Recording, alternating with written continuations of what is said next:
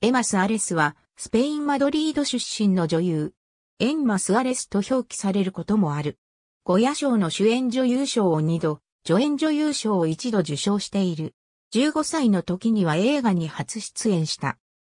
1990年代には、フリオ・メデム監督のバカス、赤いリス、ティエラなどの作品に、フアン・エステル・リッチ・ジュニア、監督のラビア・ラクテア、ピンターダズなどの作品に、ピラール・ミロー監督のエルペロデル・オータラのツ・ノンブル・エンベニンナ・ミスス・エニョスなどの作品に出演。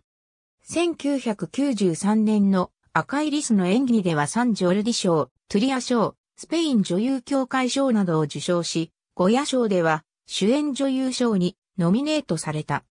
1996年のエルペロデル・オータラノではゴヤ賞の主演女優賞を受賞した。2007年にはサンルイス国際映画祭の審査員を務めた。2016年のゴヤ賞では、主演女優賞と助演女優賞にノミネートされ、ペドロ・アルモドバル監督のジュリエッタで主演女優賞を、イサキ・ラクエスタ監督のラプロキシマ・ピエルで助演女優賞を同時受賞した。姉妹のマルタ・スアレスも女優である。兄弟のカルロス・ボデロンは芸術監督である。